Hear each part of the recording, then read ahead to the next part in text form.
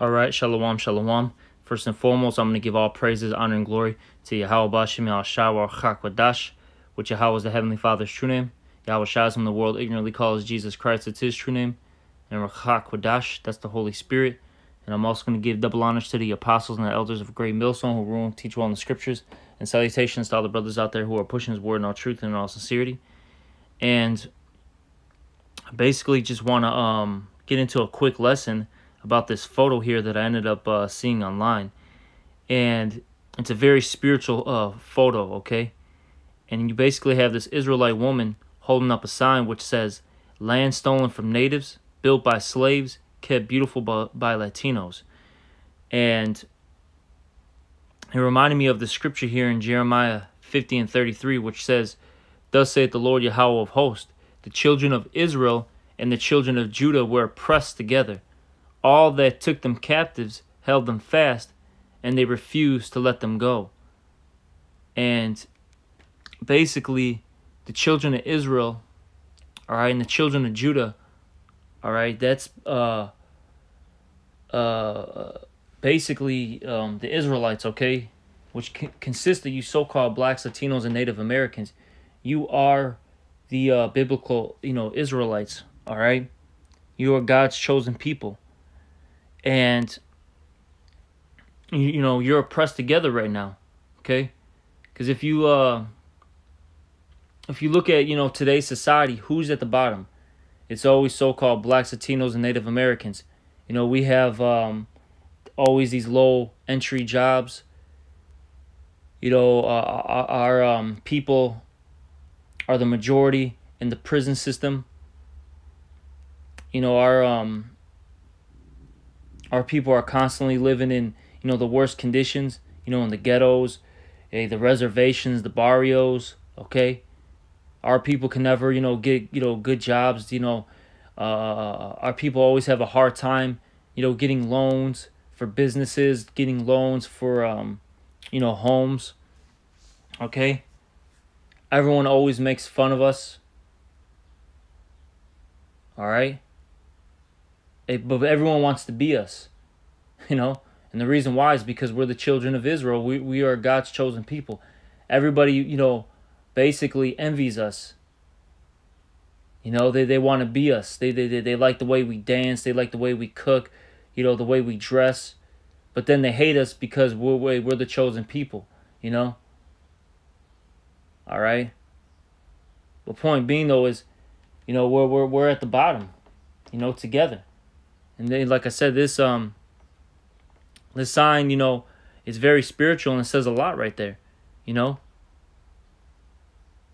Hey, how I said there, it, it, it, the land was stolen by the, the natives, okay, which um, the Native American tribes, okay, they are um, biblically known as the Gadites and the Reubenites, okay, and then also too they which they don't like to mention, um, that um so-called Mexicans, okay, which are uh, the tribe of Issachar, they owned basically a, a, chunk of the United States, pretty much the whole southwest region over there.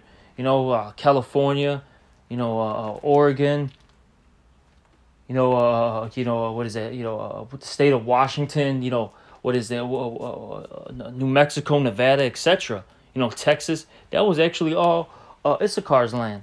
Okay, they stole that. You know, Esau, Edom, the so-called white man, our number one uh, uh, enemy. Okay? Then after this land was stolen, how it says there, it was built by slaves. Okay? You know, basically Judah, Benjamin, and Levi, the southern kingdom. You know? Hardcore slavery. And, and all this stuff is just facts. Everyone knows it.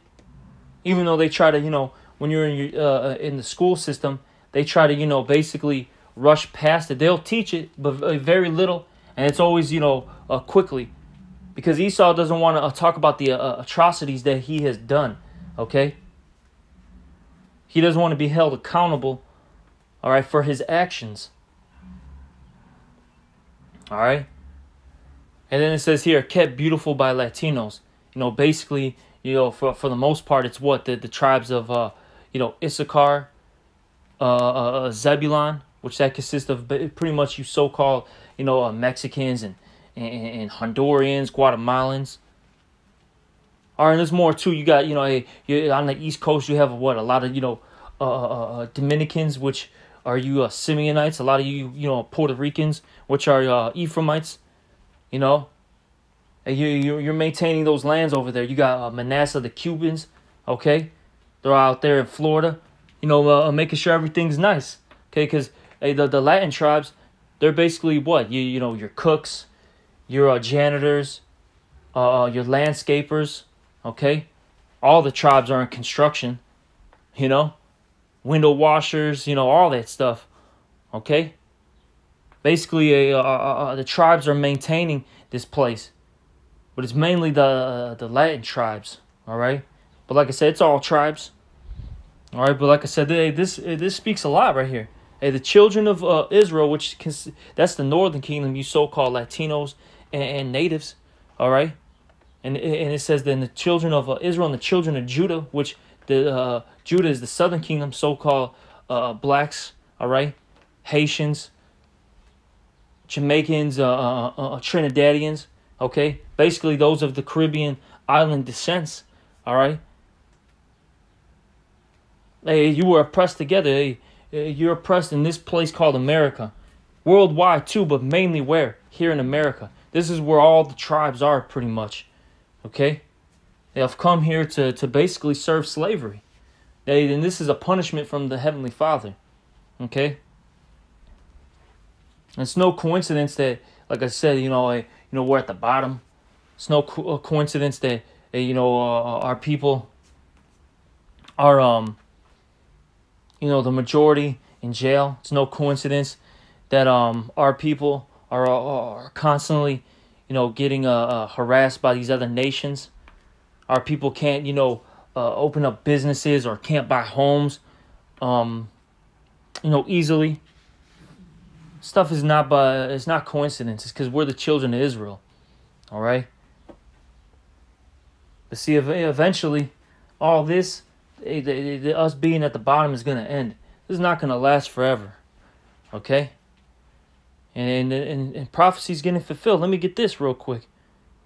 Probably actually ended off with this because you know what? We'll just keep this, you know, a short lesson. What is that? Um, the book of Baruch, the second chapter. I think around the 29th verse. Okay? Actually, let me go up.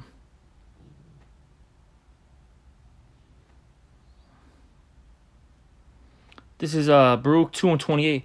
As thou spakest by the servant Mo- by thy servant Moses in the day when thou didst command us to write the law before the children of Israel, saying, If ye will not hear my voice, surely this very great multitude shall be turned into a small number among the nations where I will scatter them.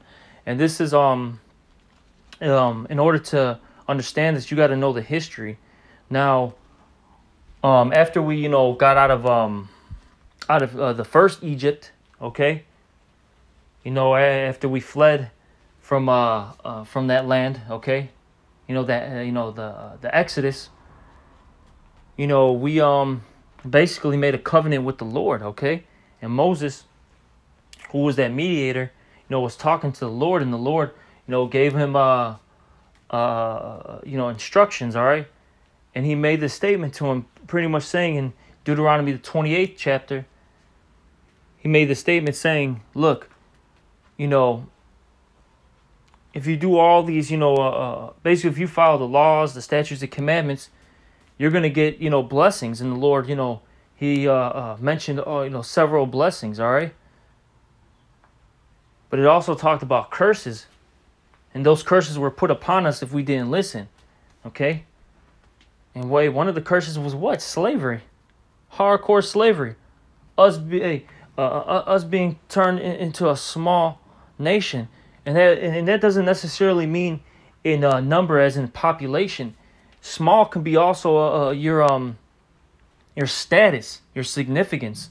Okay? And right now our people are looked at as nothing. Okay? We're the scum of the earth. You know? Alright? And that's what he's done to us. And that's because we didn't listen to him. Okay? I'm going to keep reading. For I knew that they would not hear me, because it is a stiff necked people. But in the land of their captivities, they shall remember themselves. And that's what's happening. Okay, you have what we call uh, what the Great Awakening. You have Israelites waking up all over the world.